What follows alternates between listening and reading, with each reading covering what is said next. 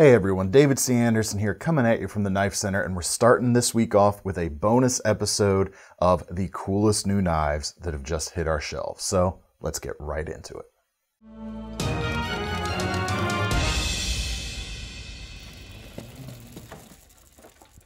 So I've been out of the office for a couple weeks between SHOT Show uh, and right after that. So we got a lot of new knives to kind of catch up on. So two episodes this week. We're going to have one today and one on our normally scheduled Thursday day as well. And there's plenty to fill these episodes up. So we're going to jump right in. Uh, some new exclusives, three new exclusives that came in while, while I was away that we now have to talk about, or now get to talk about, I should say. Uh, first is a restock of this knife right here, the Shirogorov F95 NL Knife Center exclusive.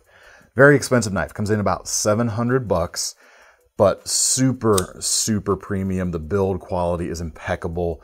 And for the folks out there who have the sentiment where they wish Chris Reeve would make a flipper, this is the brand I tell people to check out. Obviously, the vibe is not perfectly one to one. We've got you know a flat ground blade here, whereas uh, the Chris Reeve knives are always hollow ground, or I think always most of the time anyway.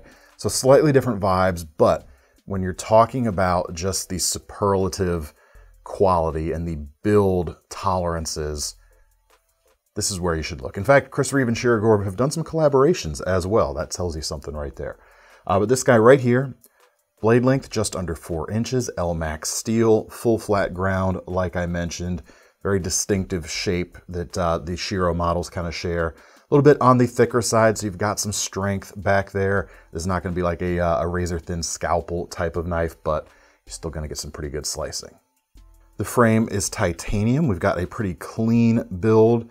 Two uh, pieces of connection hardware. Essentially, you've got the pivot and a single screw there at the back holding things together, but it doesn't feel weak at all. This is solid, you know, solid hardware that they're using.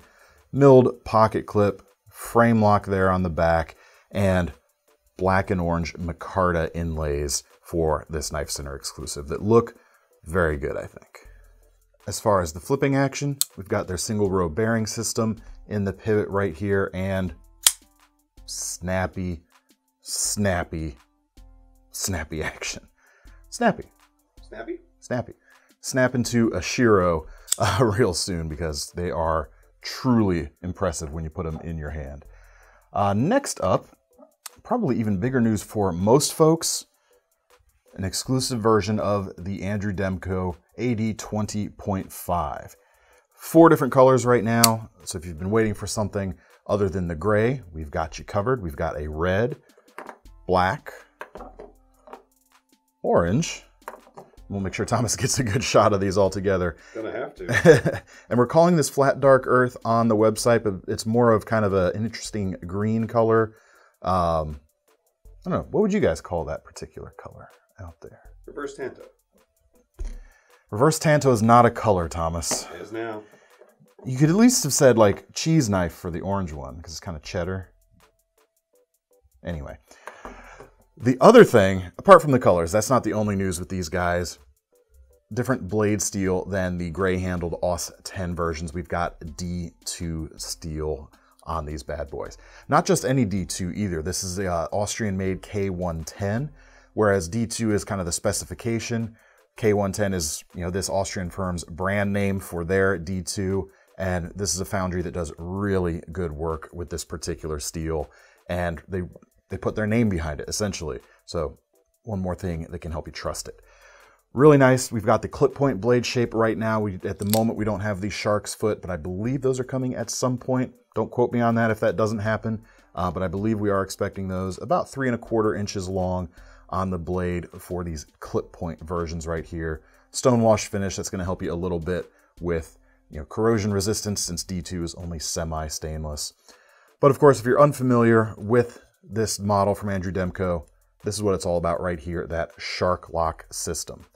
It is essentially a bar you pull back on the spine and allows the blade to float very freely. Not quite free swinging, maybe use a little bit of oil on this one, but you can do the centrifugal motion. You've got a thumb slot as well as thumb studs to do the opening. You can of, of course close it much more deliberately if you don't want to go, you know, swinging things wildly. Really cool, really strong. That little tab stays out of the way. It acts as a little bit of a finger guard or a finger, uh, sorry, thumb ramp when you're holding it in the standard position here. And then when you go to choke up, my finger at least kind of sits right in front of it. You can feel the tip of it, but when you're doing the detail stuff like this, it's not getting in the way if that's what you're worried about. Really cool knives. They carry nice and slim too, but you've got the uh, dual liners and that strong lock behind it, which is a very, very nice. I guess the last thing I should mention on these knives that I haven't yet, besides holding up the uh, the cheese flavored one right here, uh, price same as the original versions. We're just at about 150 bucks for these guys, so you're not gonna have to pay extra to get some of these features that some folks have been waiting for. All right, next up, the last exclusive for this week is the Benchmade Griptilian, the long-serving backbone of the Benchmade lineup in not just a red color here on the uh, injection molded handle scales, but 20 CV blade steel on these guys right here. Now, we didn't know this was going to wind up happening when we uh, initiated this project with Benchmade, but you used to be able to get the 20 CV blades on the upgraded G10 versions of this knife, but they've actually discontinued those G10 models. So if you're looking for the Griptilian with an upgraded blade steel, pretty sure this is the only game in town right now anyway. And the advantage of it not being the G10 in this case is the prices are really good. We're about 150 for the satin version versus like 126 for uh, the standard S30V version and 160 for the black Cerakote finish. Really, really cool. Now for the folks who missed the, uh, the G10 handled versions, I definitely get it. I will say this though, I own, even to this day, I own both standard versions as well as G10 versions of the Griptilian in my collection. And while the G10 certainly feels a little bit more premium, the actual shape and the contours in the hand on these injection molded versions, because they are different shapes, is, let's be honest, a little bit better than the G10. It fills the hand quite nicely, helps this fill a role that's going to do everything from just EDC to outdoor to tactical, all in one really nice package. Three and a half inches on the blade length there, just under three and a half inches. Nice sharp edge. The red on the injection molded scales there. Standard black oxide finished pocket clip. And of course, the axis lock. So you can do that flick thing. So one of the things I really appreciate about the axis lock and other lock systems allow you to do this as well, such as the Demko we just looked at, is when you go to close it, there's kind of a, a, passive degree of safety built in that other locks like a liner lock or a frame lock just don't have because your fingers never cross the cutting path of the blade at any point when you're disengaging that lock. So if adrenaline's high or you're just moving pretty fast and you might not be thinking about it as much as you maybe should, your finger's never in the way. So less of a chance of an accident right there, which is a pretty cool thing indeed and one more, or actually two more uh, knives that allow you to do this as well. Uh, we've got two new SOG knives in their LTE XR line. The first is the Vision XR LTE, uh, coming in about 175 bucks. Now the XR in that name refers to the XR lock, which is SOG's version of the crossbar lock, their Axis competitor.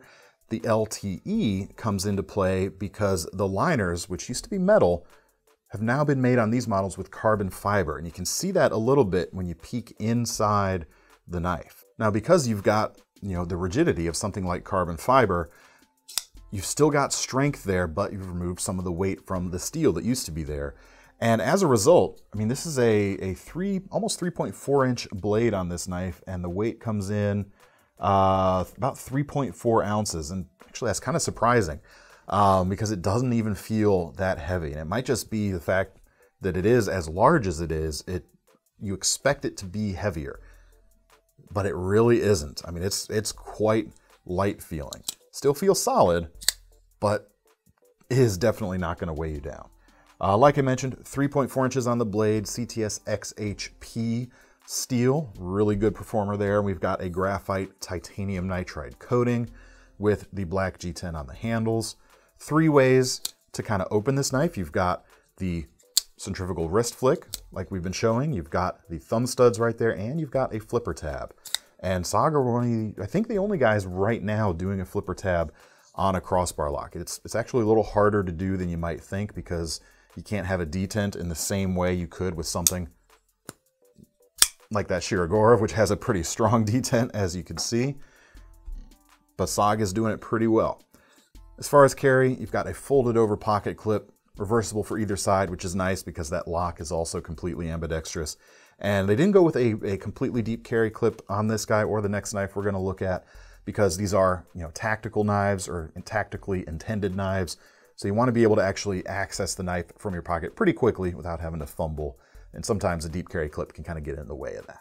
All right, next up we have the Pentagon XR LTE. Same bullet points as the Vision, uh, but we've got slightly bigger blade here, 3.6 inches. Uh, we're coming in just under 200 bucks on this guy. A little bit more work involved on the blade on this one. Uh, XHP steel again, but in addition to having a dagger grind where you're, you're beveled back towards the spine as well, there's actually also just a hint, of sharpened edge on the rear of the knife right here at the tip. You can see the, uh, you know, where the, the glint stops back up here not a sharpened edge. You probably could do it if you wanted to, but this little bit right here is going to give you that little bit of an extra edge eh, on, uh, on piercing tasks when you need that sort of thing. I'd probably, you know, personally, I'd prefer to keep this without an edge anyway, because if you need to choke up and do any kind of detail work, you can index your fingers on the spine really easily for a little bit more control. Now, to paraphrase Henry Ford, you can have this knife in any color you want as long as it's blue. Actually, I should have said that about the Vision since the quote originally said black, and this is a black handle knife. But and eh, he's rusty, much like Ford's. Oh, fighting words. I have two of them, so it's that's true. Tell me what you think of that down in the comments, folks. You're in for it now, Thomas. Yeah. Um, back to the knife. Cool knife. Uh, very bright color. It's a design I've uh, I've been a fan of since they came out with the originals. Lighter weight, still, like I mentioned, we're uh, Man, this one says 4.9 ounces. It does not feel that heavy at all. Yeah, I guess it feels a little bit more heavy than the Vision, but I don't know, man. It, it doesn't feel like it's as much as our, uh, our spec sheet says. I mean, this thing is going to be very easy to carry, very easy to use in a lot of different grips thanks to that neutral handle shape. You've just got kind of one big carve out here for a little bit more of a finger guard there it's a really cool knife.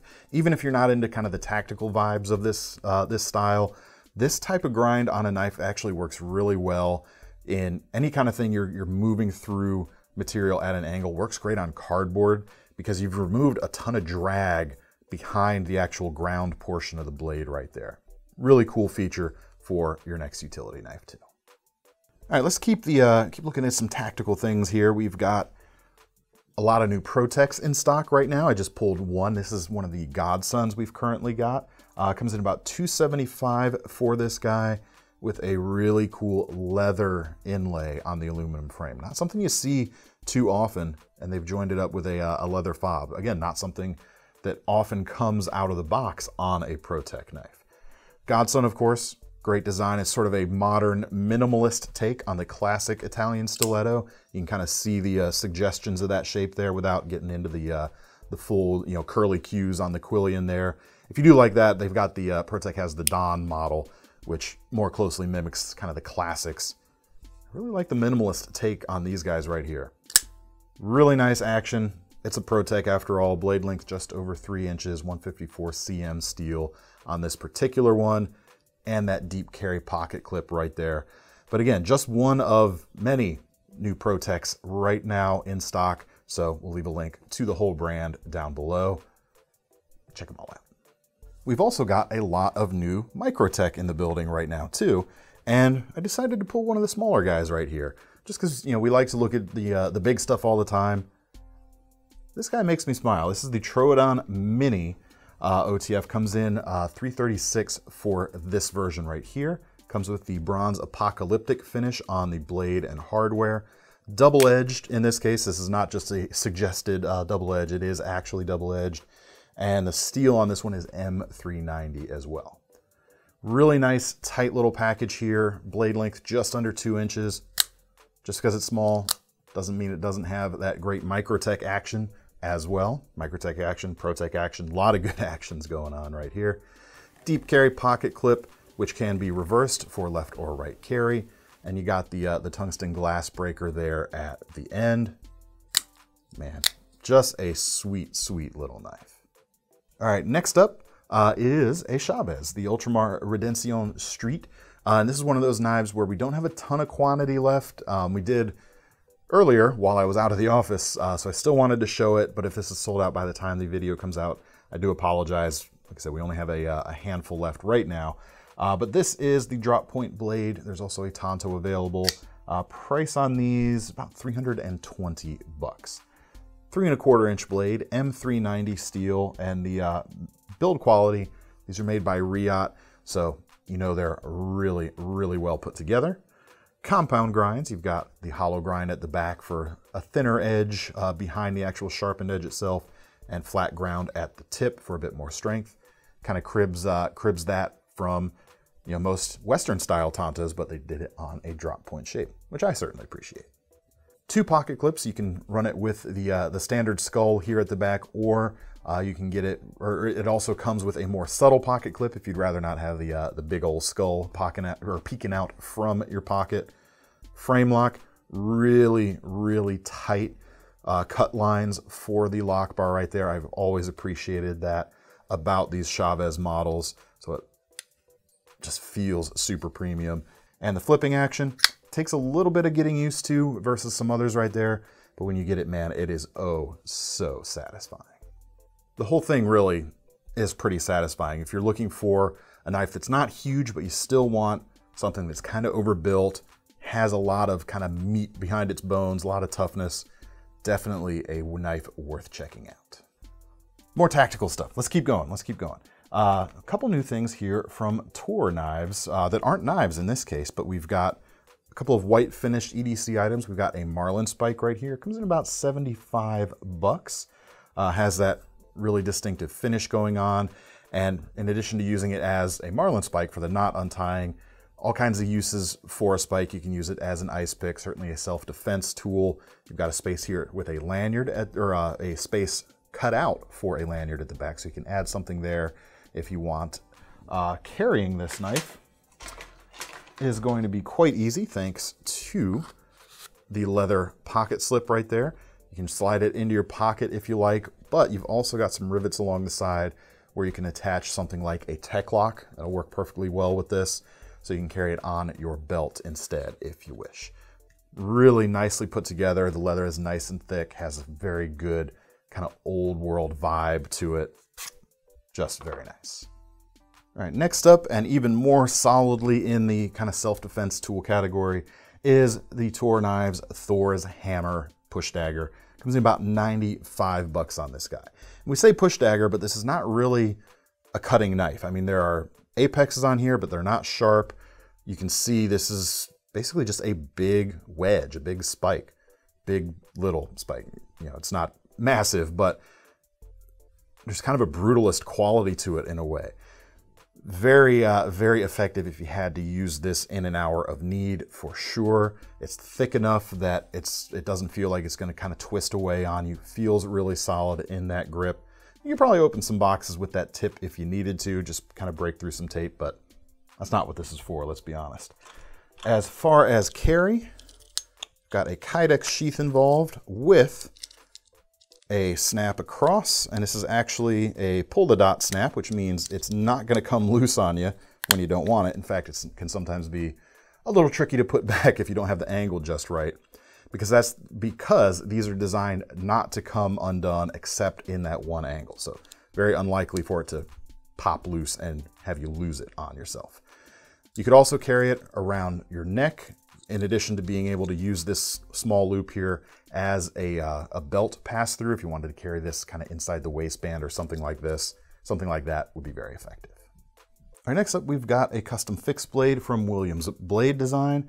This is the uh, Shobu Zukuri Kaiken fixed blade. Uh, 475 bucks for this being, you know, a handmade knife. I believe this is a handmade knife anyway. Uh, four and a half inch blade M390 steel with their apocalyptic finish going on. Kind of suggests a, uh, a Hamon line, but this is not a, uh, a, traditionally tempered knife, so it's not an actual kind of clay line from a Hamon, but it looks really awesome. Really aggressive uh, trailing point shape, natural micarta handles, very aggressive uh, kind of notches on the edges of these guys. Not designed for comfort, designed to keep it from slipping at all costs from your hands in use. And it's certainly going to be pretty effective at that, even if you're wearing gloves. These are big enough, they're still going to kind of grab onto a gloved material there as well. The sheath itself is Kydex, snaps in really nice, as you can see. Uh, going to carry pretty easily thanks to this horizontal belt loop. Carry this cross draw or smaller back, no problem. Although smaller back might be, I don't like how it's tipping down there a little bit. Eh, we can move it. That's the advantage. Uh, you can also uh, fit a large Tek-Lok to one of these if you take that loop off. You want to carry that a little bit differently. So you can carry things, you know, inverted, side to side, or up and down, any which way you please. But really nicely put together. If you don't have 475 bucks uh, for this design, believe me, I feel your pain. How about uh, 115 bucks instead? We've got a bigger version of this knife from CRKT, newly released this year. Uh, it's the same design, just a little bit bigger. The blade length on this CRKT version comes in at six and a half inches. You've got SK5 carbon steel, so it's not gonna hold an edge like the M390 will, but it's going to be tougher if you're really pushing on this knife. And you do have a coating here to help keep uh, corrosion at bay, because of course this is a non-stainless steel. Same vibes on the handle. We've got black G10 on this one and those aggressive notches for absolutely a ton of traction. What's it called? This is called the HZ6 or HZ6 for our uh, European or uh, UK viewers out there. The sheath on this guy is Boltaron, which essentially is the, uh, the same thing as Kydex, at least in terms of how you're going to use it. Uh, it does come with a hook here to attach the knife to your belt. This will definitely work inside the waistband if that's your thing. If you've got a waistband or waist big enough to accommodate a big blade like this. Uh, also work if you have big pockets like JNCOs, if those are going to come back in style. Of course, you could certainly do your Tek-Lok thing on this guy as well. All right, next up, I kind of showed you mine on one of these over the, uh, the weekend on our knife AQ, but we still have a couple of M18s left in stock from TM Hunt as of the morning we're filming this. Um, fairly expensive knife, 550 bucks uh, for the standard versions, but you've got so much power in these blades and a lot of the cost in there does go into kind of the handmade nature of these guys. Super, super awesome knives. 10 inches long on the blade, 01 steel, quarter inch thick, and it may look a little funky, but there is so much versatility in this knife. We actually did a video uh, kind of torture testing one of these a while back. You've got a leading edge that you can chisel with. You've got a strong convex ground section here at the front you could chop with. You've got a recurve section here at the back with a hollow grind that works well as a draw knife. Does a pretty good job at smaller detail stuff as well. And then this leading section up here, people don't believe it, but I've actually seen someone quarter and skin a deer with one of these. Put your hand up through the lanyard so it supports the weight on your arm, grip the eye right there, and then you can really easily use this belly for some more delicate tasks. If you're looking for a one-tool option survival knife, you could certainly do a lot worse than this guy right here. I can't say enough good things about the M18. I really can't, and we're really happy to have a few in stock still, at least right now. So don't wait too long if you uh, if you haven't gotten one of these yet and you're interested. Really comfortable. I really like the details like the crown spine up here on the leading section. That's going to be real kind if you need to baton with this knife or if you're using it for a draw knife. No sharp edges there to kind of pinch you as you're, as you're working. And then a really nice Kydex sheath to go along with this. Keep things nice and tidy when you're heading out. All right, we looked at exclusives, we looked at tactical stuff. We looked at a tactical crossover outdoor big old chopper. How about some just good old plain EDC stuff? Uh, You sell those? we do. There's, a lot of good stuff here for EDC, but slightly more specialized. Uh, let's take a look. A couple new knives from WE and Civivi that were released last week. We've got the WE Subjugator. Uh, premium knife, 225 bucks, 20 CV steel, about three and a half inches on the blade.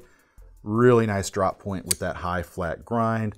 Titanium frame lock flipper, like a lot of the WE stuff out there, because they happen to do that sort of thing really, really well. You've also got thumb studs there if you'd rather not flip it, but flipping it works great thanks to the ball bearings there. Titanium pocket clip, one of the few uh, kind of folded titanium clips out there. A lot of titanium clips wind up being, you know, a single piece sculpted out of a, a block of material. So a little bit different there. You can still anodize it your own colors if you want, but this stonewashed blue frame happens to look really nice, I think. Other colors are certainly available too. We've got uh, carbon fiber inlaid versions, other colors of titanium if you'd rather not go with the blue. Now, if you like that blade shape though, but you'd rather not spend quite that much money, uh, check out the new Altus button lock. A little bit smaller, but kind of the same vibe on the uh, blade itself. There are G10 versions. There is a Micarta version with a Damascus blade, and there's this really nice Guibourtia wood version right here. Blade length itself, just under three inches. We've got a Nitro V blade steel here, really good choice. Uh, 72 bucks for the uh, the least expensive G10 version, and this one right here, 76.50 for this nice wood version. No flipper, but you've got a really nice button lock right there. You don't even really miss the flipper. You can push that button in, do that little flick. Again, another lock that lets you keep the uh, the fingers out of the blade path. Really like that. You do have thumb studs, so you can pop it open, or of course, be a little more deliberate, whichever you prefer.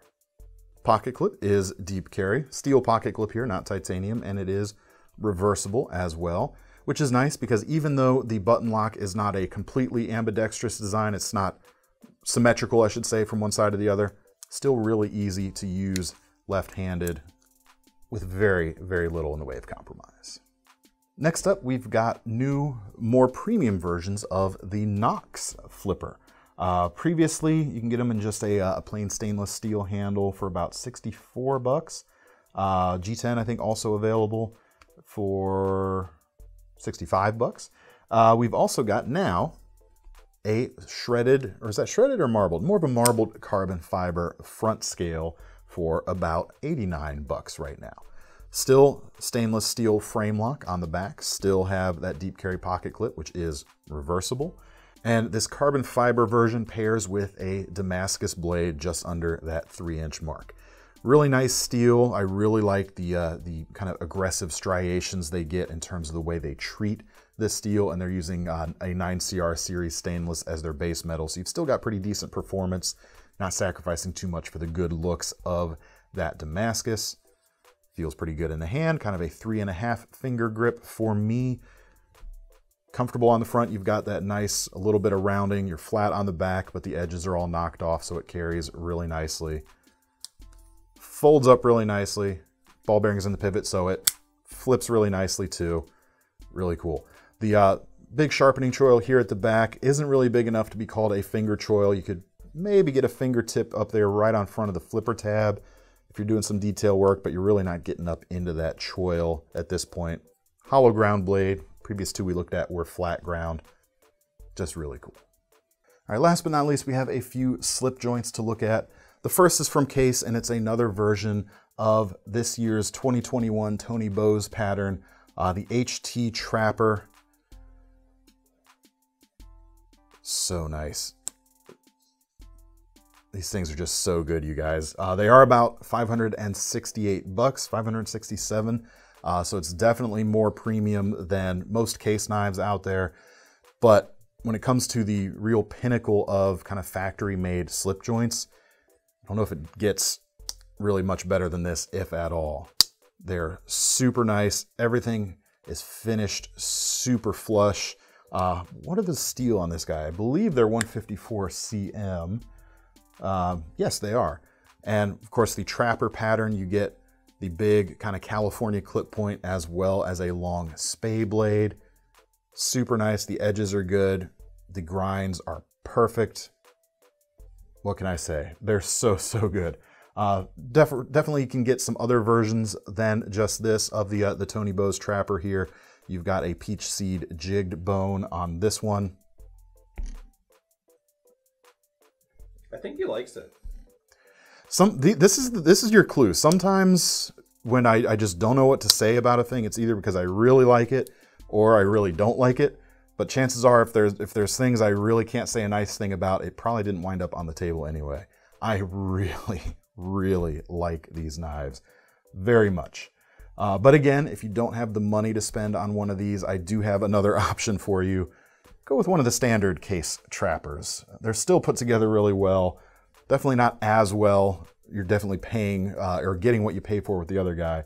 But check out this new Aqua Kirinite version of the standard trapper uh, in their SparXX series, actually, because we've got a little bit of uh, sparkly bits in the case shield right there. 63 bucks for this guy. You still have the same two, essentially the same two blade shapes. Uh, hollow ground instead of flat ground like on the Tony Bose and with 420HC, or that might have, I forget if they're using 420HC nowadays, but it's their Case's True Sharp Stainless. It's, it's fairly basic stuff, but it works pretty well. You've got the spay blade and you've got the clip point here is a little bit more of like a muskrat clip point as opposed to the California clip point. Splitting hairs a little bit here, of course, but what would the fun be if we weren't splitting hairs after all? Really like Kirinite as a material in general. It's kind of got a poured acrylic look. Looks really cool and actually feels good if you're actually working the knife. If you're sweaty, things get a little wet, it doesn't get real slippery. It's a really nice material overall.